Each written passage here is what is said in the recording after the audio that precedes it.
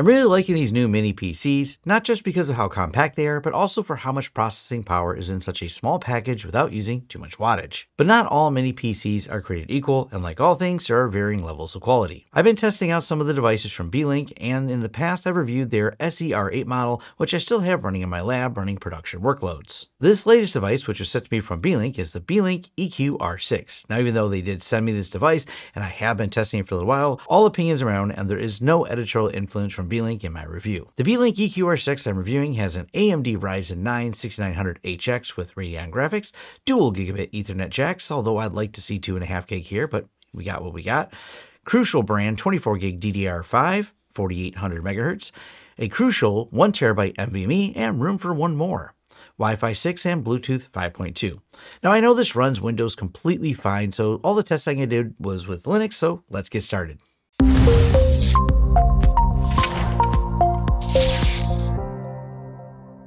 Now, the first place I want to start is here on the Beelink page that you'll find linked down below, and that is also going to cover the price, because everyone always asks that in the comments, so let's get out of the way right now. $429 as of October 28th of 2024. You are probably watching this in the future where this price may have changed, but that is at least what it costs right now. You can also check around on Amazon and probably find some better prices. Uh, there's deals out there all the time, and hey, check out Prime Day. Now let's talk about the rich interfaces as they label it. There's not too many interfaces on this to talk about, but we do have a USB 3.2 10 gig on the front. We have our three and a half millimeter audio jack, which I did not use at all simply because I was using Linux. I mean, I tested it to make sure it worked in Linux when I was running a desktop OS. More on that in a moment. Uh, we have a clear CMOS button. This is actually something I'm going to say is pretty important because they give you a lot of BIOS options, which gives you many opportunities to make mistakes and uh, hit the clear button to reset to the default setting. So the BIOS is pretty unlocked. There's a lot of options in there, and there's a way to get back to the beginning if you mess it all up. We have a USB-C 10 gigabit here. We have the power button, power indicator light, and then on the other side we have two more USB 3.2s, two HDMI's, one USB 2.0 480, and then we have our two 1.5 gig LAN, and then we have the built-in power supply. Let's talk about that built-in power supply real quick. Now, the built-in power supply I was a little skeptical of because, well, what if they go bad? And also, how hard is it to remove? And both of those questions are actually easily answered with two videos you'll find linked down below. Uh, another person on YouTube did an entire teardown of this device to show you exactly how to take it all apart. And I will admit, I was a little worried about doing it myself, but their teardown video is great. And then they did a power supply replacement to get more wattage into the system. And it's clever how they do the power supply on that. They're just using the pins to uh, conduct the power that are actually the bolts for the power supply. So it's pretty serviceable, which I think is very reasonable. The other thing that was reasonable was the power usage. At idle, it was about 11, 12 watts, depending on what I had running on there.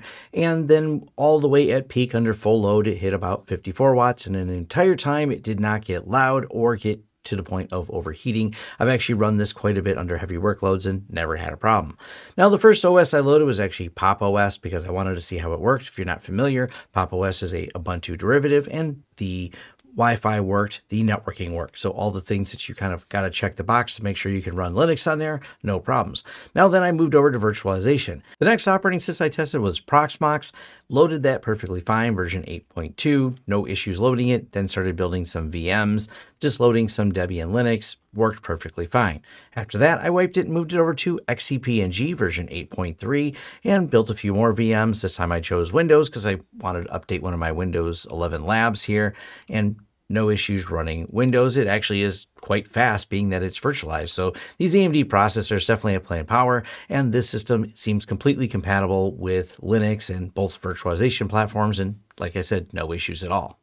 Now, as I mentioned earlier, this did ship with Windows on it, but I'm not much of a Windows person and I'm not much of a gamer, but I will leave two more reviews of this device by people who do games and do more Windows desktop testing than I did. My focus is mostly, well, will it work with the virtualization workloads that I want? Will it work with Proxmox, XCP-ng, or just Linux in general? Because that's not something that these companies do a great job of listing, and you don't want to buy it and find out there's like not support. Now, these are Realtek cards in here, which I'm I'm not usually the biggest fan of, but I didn't have any issues with them. They did not have any network drop issues. I have this little UniFi two and a half gig switch I had connected to it. Yes, I know there's only one gigs here. It'd be great if these were two and a half gig, but you know, I didn't have issues setting up VLANs with the virtualization or any problems with getting that working. And I kind of like the way it sits on top and is about the same size. It makes it look kind of cool. And I think this is kind of a neat, compact home lab device. My overall feeling on Beelink is they make a solid device.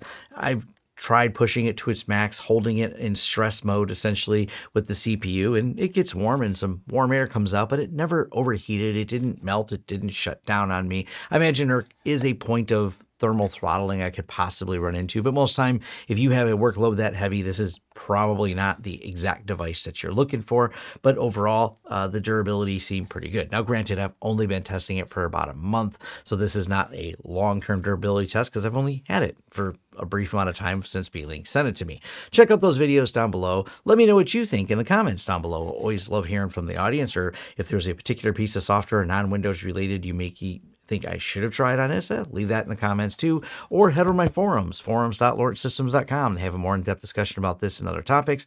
Head over to lawrencesystems.com hit me up on the socials if you want to say hi at whatever you find there, or sign up for my newsletter. Like and subscribe to see more content, and thanks. Thanks to our sponsors for their continued support.